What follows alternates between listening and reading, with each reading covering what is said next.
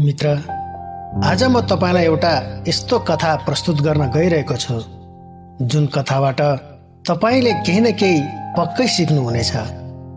कथा सुरु गर्नुभन्दा पहिले तपाईँले मेरो च्यानललाई सब्सक्राइब गर्नुभएको छैन भने सब्सक्राइब गर्न नभुल्नुहोला।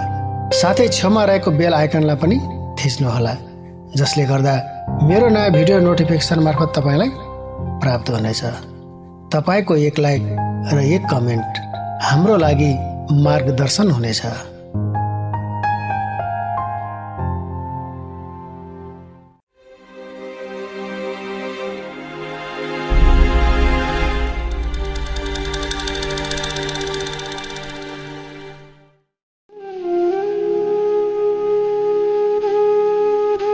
मित्र एक समयको कुरा हो। मुसा आफ्नो बाटो गइरहेका थिए। उसले बाटोमा एउटा खाने कुराले भरिएको टोकरी देख्छ।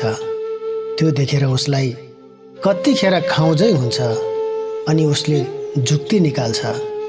अनि त्यस टोकरीलाई दाँतले टोकी टोकी आफू छिर्ने एउटा सानो पाल बनाउँछ र त्यस पालबाट मुसा भित्र छिर्छ।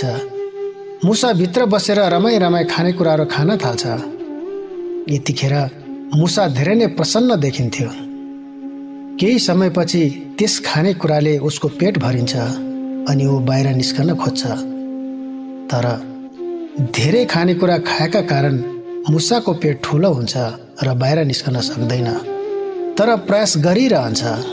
पटक पटकको प्रयास विफल भएपछि मुसा रुन थाल्छ।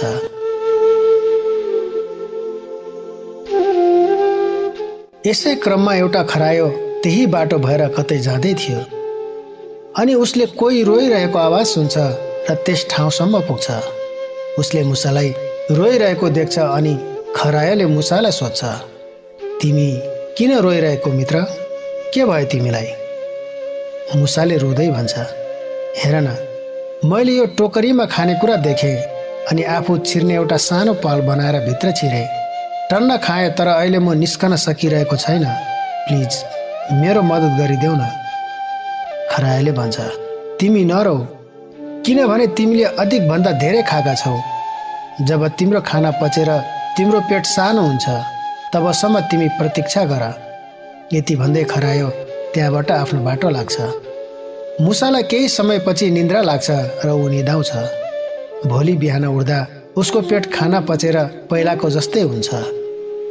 ऊ बाहिर निस्कन चाहन्थे। तर फेरि त्यही खानाको लोभले गर्दा ऊ फेरि खानेकुरा खान सुरु गर्छ। धेरै खानेकुरा खाएका कारण मुसाको पहिलाको जस्तै हालत हुन्छ। उसले सोच्छ आज म यहीँ बस्छु भोलि निस्केर घरतिर जान्छु। त्यसै समय एउटा बिरालो आइरहेको हुन्छ। अचानक बिरालोलाई मुसाको गन्ध आउँछ। बिरालोले सुक्दै सुक्दै टोकरी भएतिर पुग्छ अनि थाहा पाउँछ यहाँ मुसा बसिरहेको छ भन्ने कुरा। अनि बिरालोले त्यस टोकरीमा रहेको मुसालाई समाउँछ अनि आफ्नो आहारा बनाउँछ। हामीले यस कथाबाट के पाठ सिक्नुपर्छ भन्दा धेरै लोभ गर्नाले कहिलेकाहीँ हामी आफ्नै कारण एउटा ठुलो समस्यामा पर्न सक्छौँ।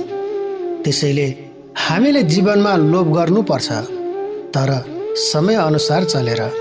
लोभले मानिसलाई कहिले पनि फाइदा गर्दैन। उल्टो ज्यानलाई खतरामा पार्ने सम्भावना हुन्छ जस्तो मुसाको हालत भएको थियो। मित्र यो कथा तपाईँलाई कस्तो लाग्यो? यदि राम्रो लागे लाइक कमेन्ट सेयर गर्नुका साथै च्यानललाई सब्सक्राइब गर्न नभुल्नुहोला। आजको बसाइमा यति नै। अर्को बसाइमा तपाईँ र मेरो भेट पक्कै हुनेछ। तपाईँको बाँकी पल शुभ रहोस्। हस्त नमस्कार। तुलसी भावुक युट्युब च्यानल हेर्दै गर्नुहोला।